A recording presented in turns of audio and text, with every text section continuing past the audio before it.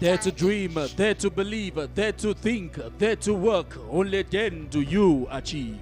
Mottanni You signing cannot out. live very long without having a wound.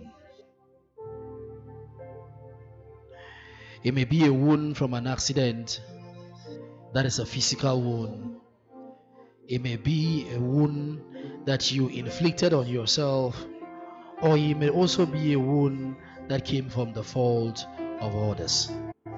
It may be a wound from a relationship, maybe a partner, a friend, a loved one who left you. The pain burns day in, day out within you. Somebody you thought will always be there to protect you. Somebody you thought will always be there for you to rely on. Somebody you thought was your all and all. Somebody you thought was an angel in front of you could do you no harm. Ended up hurting you, ended up causing you pain. And though they are long gone away from your life, you still from time to time think about it and you've allowed yourself to feel the pain. You still from time to time look at that mark and you remember the pain, the hurt you went through. Someone you thought will always be there for you, who promised to always be there for you, and who wanted to always be there for you, ended up dying. Someone,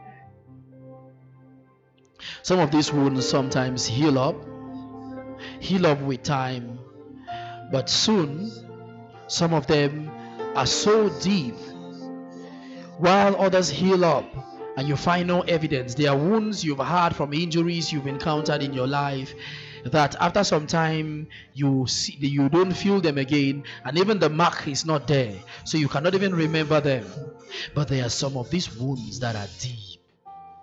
There are some of these wounds that are so deep. The pain you felt was so intense that even after the wound got healed up, even after the person left, the scar remains. The scar remains. The scar might have come from you falling from a bike.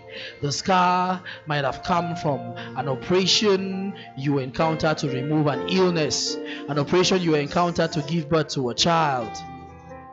The scar may be physical or it may be invisible, maybe emotional, maybe psychological scars that you've gone through.